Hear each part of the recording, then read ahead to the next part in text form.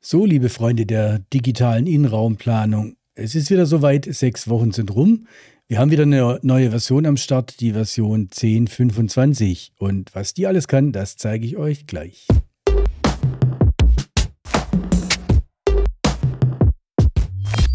Ja, ich verspreche euch, das Video wird nicht so lang wie die letzten. Es gibt nicht so viele Features hier in dieser Version. Dafür aber auch ein ganz tolles, das zeige ich euch jetzt. Und zwar geht es dort wieder um die Augmented Reality. Ihr könnt euch daran erinnern, ich habe euch in der letzten Version gezeigt, dass Sanitärdaten jetzt auch Augmented Reality fähig sind. Das heißt, wenn ihr in den Sanitärbrowser geht, könnt ihr ein Objekt auswählen und könnt dort sagen, erzeug mir einen QR-Code. Und diesen QR-Code könnt ihr eurem Kunden weiterleiten und er kann sich dann dieses Sanitärobjekt letztendlich auf seinem Handy visualisieren und auch über Augmented Reality in den Raum stellen. Das ist natürlich für unsere Schreiner erstmal schade, weil die gehen weniger mit Sanitärobjekten um. Das haben wir jetzt geändert. Ihr könnt jetzt jedes Objekt, was ihr konstruiert habt oder auch ganze Szenen als Augmented Reality Objekte in die Cloud stellen. Ja, stellt euch vor, ihr habt für euren Kunden Herr Müller diesen tollen Schrank, diese Vitrine hier gebaut und wollt die ihm einfach zukommen lassen, digital, damit er sich vorher mal anschauen könnt und wollt ihn damit begeistern, damit er auch wirklich den Auftrag bei euch lässt. Das geht ganz einfach. Ihr klickt diesen Schrank an, geht in die Objekteigenschaften, in die Objektdaten rein, mit der Umschalt-J-Taste, das wisst ihr ja wahrscheinlich. Da kommt man in die Objekteigenschaften rein. Da gibt es jetzt einen neuen Reiter, der nennt sich Augmented Reality. Da gehen wir mal drauf. Und hier gibt es einen Button QR-Code erzeugen. Da klickt man mal drauf. So, jetzt steht hier drin, um, um einen QR-Code für Augmented Reality zu erzeugen, muss das Objekt in Ihrem Bereich in der Palette Cloud gespeichert werden. Logisch, weil der Kunde muss ja auch diese Daten abrufen können, also müssen die irgendwo im Internet sein, wo der Kunde auch rankommt. Genau. Ähm, sagen wir hier mal OK. Wir nennen das Ding jetzt ähm, in der Cloud speichern, sagen wir hier. Hier sind schon einige Sachen drin. Äh, wir nennen den mal Projekt Kunde Müller. So. Sag hier speichern.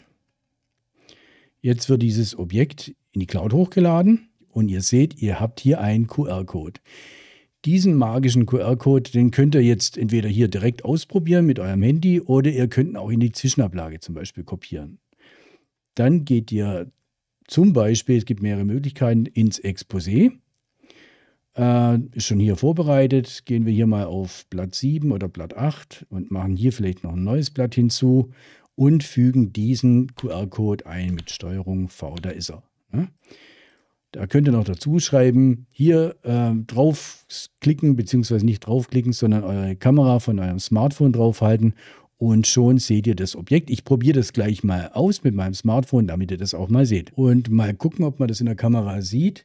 Hier auf dem Smartphone ist das 3D-Modell von diesem Korpus und ihr wisst es vielleicht, ihr habt es schon ausprobiert. Ihr habt da hier oben auch die Möglichkeit AR und dann könnt ihr dieses Objekt irgendwo in den Raum abstellen. Das ist jetzt auch irgendwo passiert.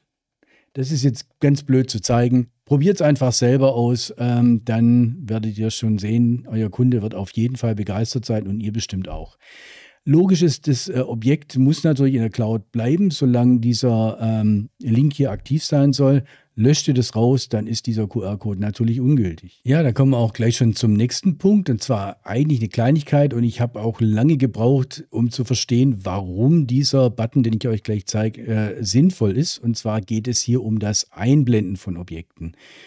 Wenn man ein Objekt Teile ausblendet, ich mache das hier mal testweise, ich gehe mal her und äh, blende hier an der Stelle zum Beispiel diese Front aus. Das macht man ja auch ganz gern, um äh, so ein bisschen die Innereien besser anschauen zu können und dort weiter zu konstruieren. Dann, ähm, die Untergruppenauswahl kommt immer auf dem falschen Bildschirm. Dann äh, könnt ihr hier dieses Objekt natürlich auch ausblenden und ihr seht so das Innere von dem Schrank. Stellt euch vor, ihr habt jetzt eine komplexe Szenerie und sind noch mehrere Objekte ausgeblendet. Jetzt könnt ihr natürlich wieder alles einblenden, aber dann ist alles wieder da und vielleicht auch Teile, die stören. Wir haben da einen kleinen Schalter ins Kontextmenü reingebaut. Klickt ihr das Objekt an, ähm, das komplette Objekt hier in dem Fall, und macht die rechte Maustaste, gibt es jetzt hier Einblenden. Und sobald ihr einblenden seid, dann werden alle Unterobjekte von diesem Schrank wieder eingeblendet und er ist so, wie ihr ihn letztendlich konstruiert habt. Eine kleine Hilfe, ein kleines Feature, aber ganz nützlich. Ja, das nächste Feature betrifft die Zeichnungsableitung. Und zwar habe ich hier den gleichen Schrank wie vorher und mache mal aus diesem Schrank eine Zeichnungsableitung. Ihr kennt das ja. Jetzt wird das Ganze ins 2D übertragen. Und was haben wir hier? Lauter Linien und Elemente, aus denen die Zeichnung hier besteht, direkt auf der Hauptebene von dieser Planung. Das ist manchmal ganz nützlich, äh, wenn man hier die einzelnen Linien direkt bearbeiten will. Aber zum Beispiel bei dieser Bemaßung, die mit einer Schnittlinie funktioniert, manchmal auch ein bisschen lästig, weil man kann im Prinzip nur die Schnittlinien bemaßen, aber es gibt ja keine Objektstruktur und keine Gruppenstruktur dahinter. Das haben wir jetzt ein bisschen erweitert. Das müsst ihr allerdings aktiv einstellen. Per Default ist es abgeschaltet, um einfach äh, das Programm, das Verhalten nicht zu verändern für die Bestandskunden. Aber nach dem Video wisst ihr, wo ihr das einschalten könnt. Und zwar macht er das hier in den Einstellungen über Datei, äh, Programmeinstellungen, hier.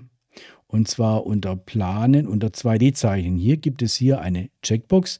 3D-Gruppenstruktur in der Ableitung beibehalten. Das einfach einschalten. Okay.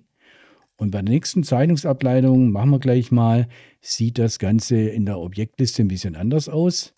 Zeichnung ableiten, wir lassen hier alles gleich, sagen okay.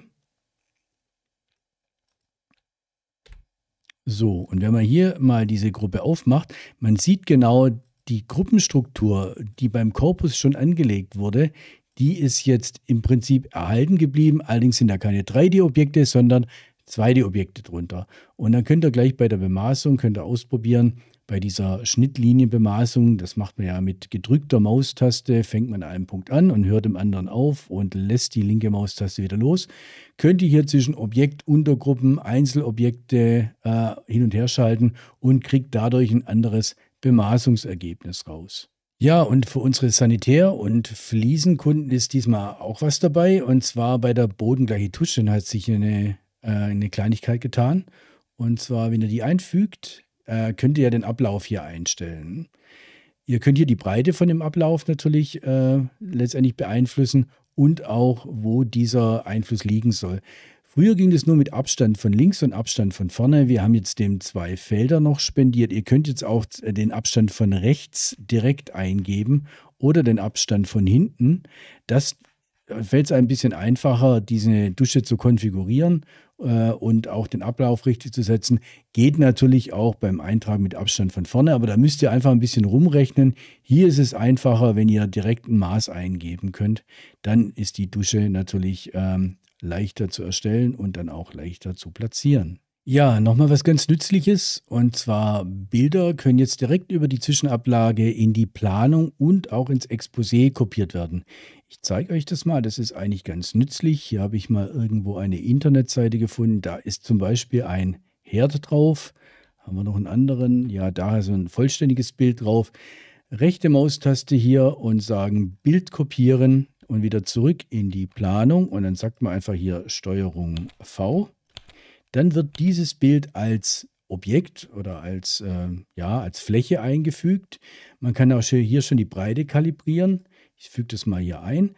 Das könnt ihr zum Beispiel nehmen, wenn ihr eine Küche habt und wollt da die Front gestalten. Ihr braucht ein Elektrogerät auf die Schnelle.